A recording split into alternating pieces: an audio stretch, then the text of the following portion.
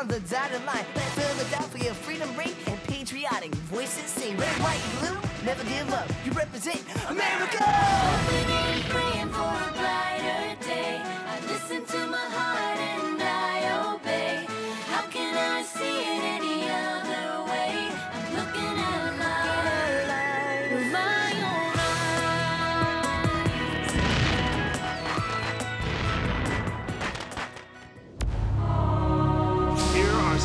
exciting scenes from today's episode of Liberty's Kids. To serve the general means everything to me.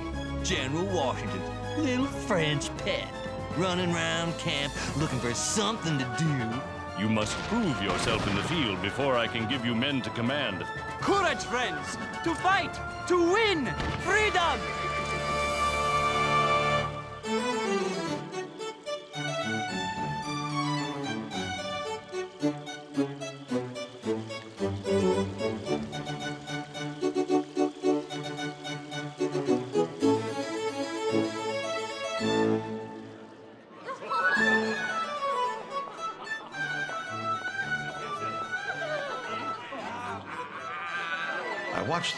Flash of lightning speed down the string straight toward me. Dr. Franklin, Monsieur Foreign Minister, I'm afraid I have distressing news. A French nobleman has defied the king's orders and sailed to America to join General Washington. our cause stirs hearts even in France. I am pleased. King Louis is not. Since France must remain neutral in this conflict, he requests a tiny favor. Write to your Congress and tell them they must not welcome this man, And this man's name is? the Marquis de Lafayette.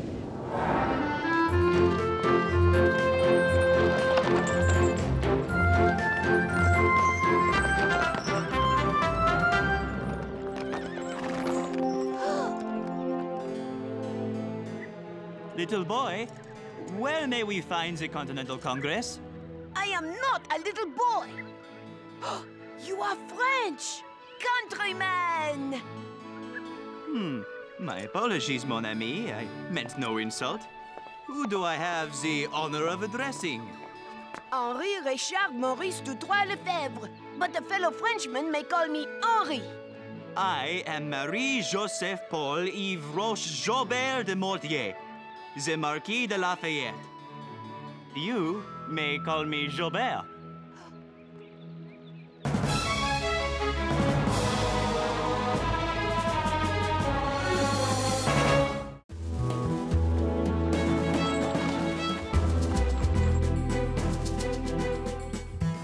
Hurry, you two. We must get the paper out in an hour. May we help you? Henri, you said you would take us to the Continental Congress. I said I could take you to the Continental Congress. Welcome to Benjamin Franklin's print shop. This is my friend Gilbert, Marquis de Lafayette. We are here to join the great General Washington in the quest for glory and liberty. I'm Moses, and this is Sarah and James. My dear friend Johann Kalb, known to his German countrymen as the Baron de Kalb. A baron and a marquis? Yeah, we're so impressed. Ow! Forgive me, but we must to Congress immediately. To get our commissions. Yes, and we have much work to do. What's a commission? A letter that says you're an officer in the army. Au revoir, my friends. Glory, liberty, and General Washington await. I just saw General Washington, and I don't think he's waiting for you. No, You know General Washington? Of course. Hmm. Washington is famed all over Europe. To serve the General means everything to me. Marquis, please, stay a moment and tell us of your trip here. There is nothing to tell, and I must go. Nothing to tell? He dressed as a woman to sneak out of France. I was wearing a merchant's cloak. Gilbert, do you have children? Yes, Henri, I do. two daughters. So you need a son to live with you in your mansion. I need a guide to bring me to Congress.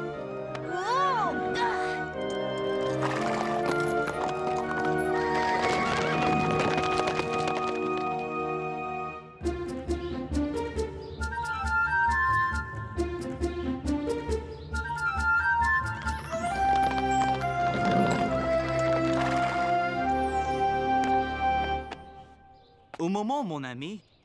I must thank you for your expert guidance. Keep them safe. They were my father's. Merci beaucoup!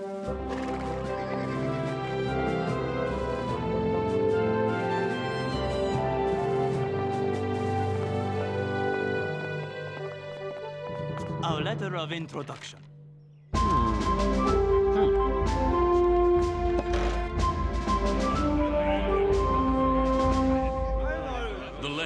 Genuine. But, gentlemen, if we issued a commission to every man with a letter from Mr. Deane, I fear our army would have more officers than foot soldiers. Mr. Hancock, we have gone through much hardship to join General Washington in the glorious fight for liberté. I sympathize, Monsieur Marquis, but Congress must do what it thinks best in order to win that fight. It took us months to get here. Oui, months! Mr. Hancock, I would be honored if you would permit me to try to convince you of our dedication to the cause of liberté. Merci. In France, as everywhere else, noblemen are concerned only for themselves.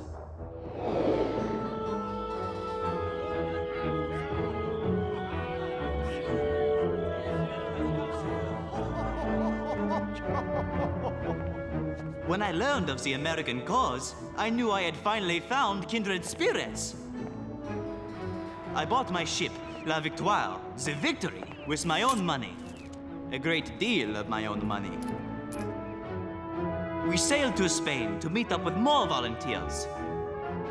While there, I received orders from King Louis demanding I return to Paris. Why do you have such sympathy for these Americans? They suffer from taxation, without representation, and unfair governance. What's wrong with that? Um. I was joking. It's because they're fighting our bitter enemies, the English. Very good, Marquis. But you cannot go. If the king approved your plan, Britain would declare war on us. And that cannot happen at this time. Understood? What I understood was that King Louis secretly approved of my plan, but the minister could not say so. I determined to sail for America and glory immediately. That night, properly disguised, Dressed as a woman. I was wearing a merchant's cloak. Whatever you say, my friend. Thank you. I sneaked back to La Victoire, and we set sail for America. Whoa! But our navigator's calculations were incorrect, and we landed miles from our target.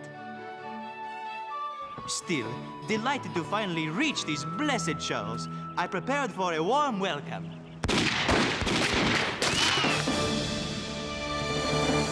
Happily, we identified ourselves as French and not British, so our ship was not burned. The townspeople invited us into their homes, outfitted us with horses, and sent us to make a rendezvous with La Gloire and La Liberté. And six weeks later, we are here in Congress, humbly offering our services to yourself, General Washington, and your countrymen. Most entertaining, sir. We thank you deeply for your interest and hope your journey back to France will be safe and speedy.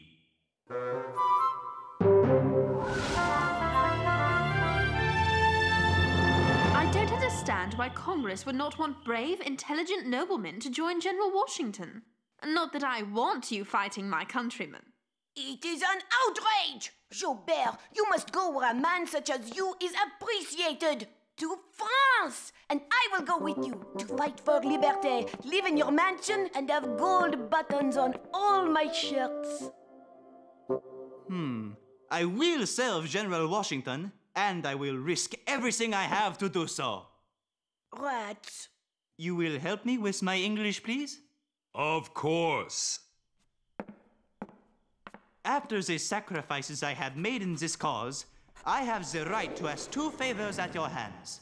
One is to serve without pay at my own expense, the other, that I be allowed to serve at first as a volunteer in the ranks. Gentlemen, we need people like this dedicated people willing to sacrifice all for the cause of freedom. Congress has resolved that the Marquis de Lafayette's services be accepted and that he have rank and commission of Major General in the Army of the United States. Please give our regards to General Washington.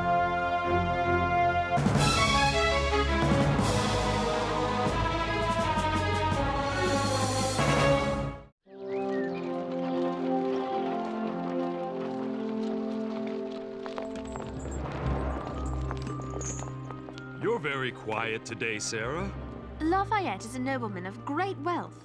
He has so much to lose, and he's willing to sacrifice all of it for his beliefs. I wonder if I could do the same. Freedom's worth more than anything, Sarah. Trust me, I know.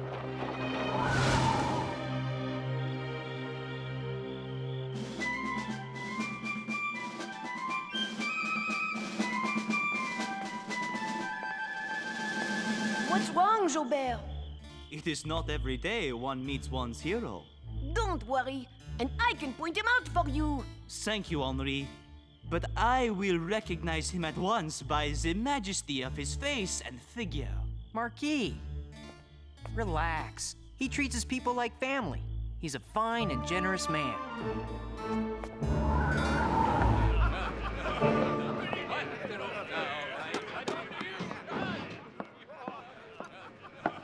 I dread this, Mr. Hamilton. These preening foreigners here to play at war. Many of our men refuse to serve under them, and no wonder. They seek only glory, with no understanding of that for which we fight.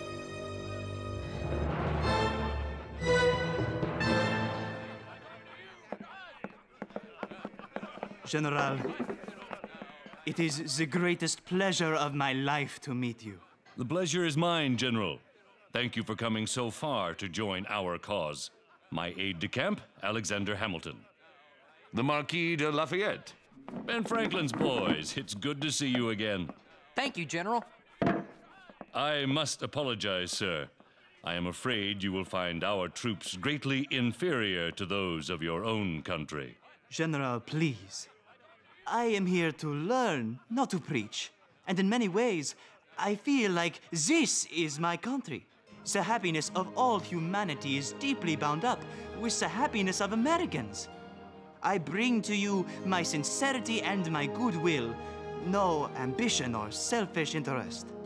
It is my deepest hope that this new land will become a cherished and safe asylum of virtue, of tolerance, of equality, and of peaceful liberty. And finally, I sneaked out wearing a wig and a dress.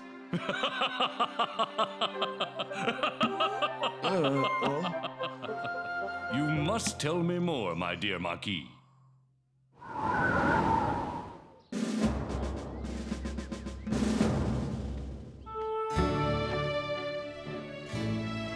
I am ready. Patience, Gilbert. As dear as I hold you, you must prove yourself in the field before I can give you men to command. Forgive me, General, but. Then how may I serve our cause? My friend, I am certain opportunities will present themselves. Food gets worse by the day, but that's tougher to stomach. General Washington's little French pet. Running around camp looking for something to do.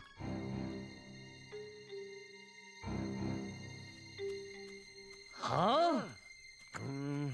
Bon appetit, my good man. This reminds me of the most delicious roast venison I ever ate. And this roll, oh, mm, mm, reminds me of my sweet wife back home. Sheer heaven. You, sir, what have you there? I dreaded dinner, till I imagined it was my favorite meal. What is your favorite meal? Well, my mother made the best chicken and dumplings I ever ate. Then have a bite, my friend. And remember your good mother.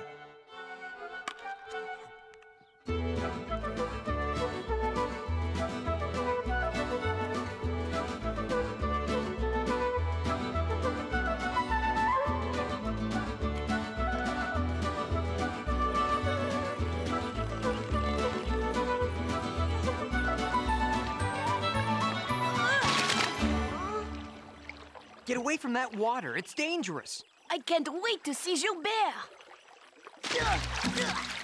We're here to report on the army, not oh. bother him. If Gilbert could hand over these buttons to me, imagine the treasures he must have at home. Washington is one of the richest men in Virginia. Hancock is the richest in New England. If we lose this war, they lose everything. What's more important to them? Treasure or freedom? Redcoats!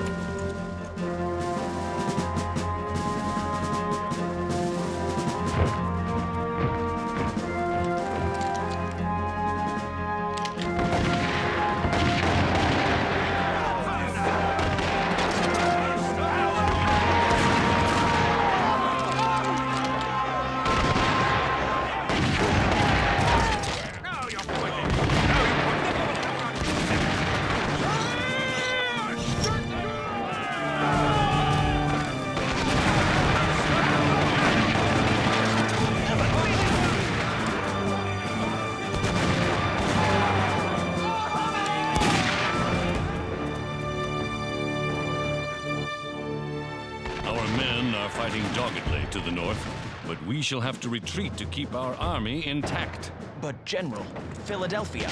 We'll be lost, I'm afraid.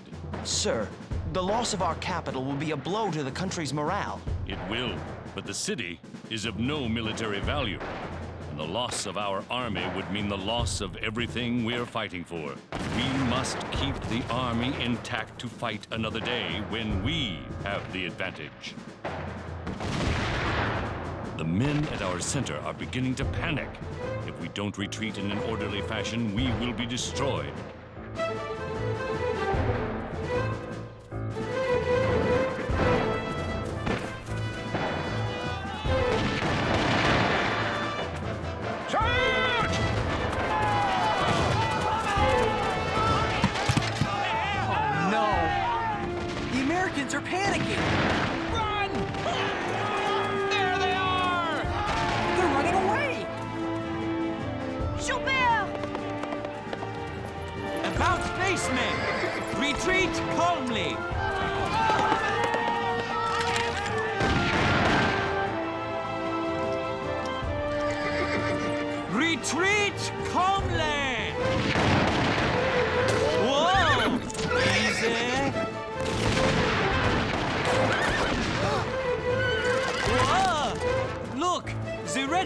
Redcoats can't hit the broadside of a barn!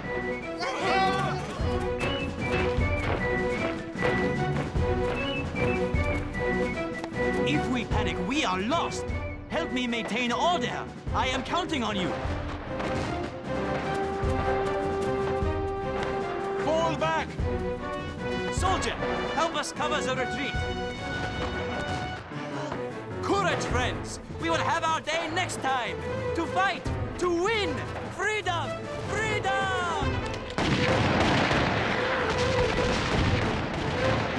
They're getting out! The army's saved! Gilbert! Can you see Gilbert? I can't see him! Oh, Gilbert, please be all right.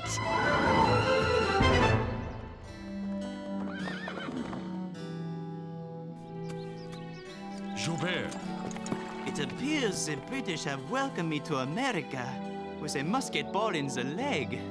The doctors will look at it immediately. Perhaps later, General. The men! The men are fine. The army will survive to fight another day. Don't move. Surgeon! This is my personal surgeon. Treat him as if he were my son.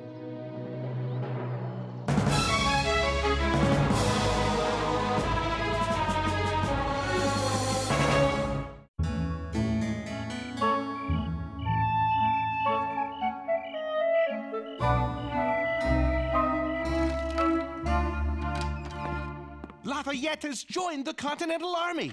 Congress never got the letter King Louis asked you to write. That's because he asked me to write the letter, not send it. I believe Monsieur Lafayette will become a popular sensation here in France, and thereby help the king see the wisdom of signing a treaty with our new nation.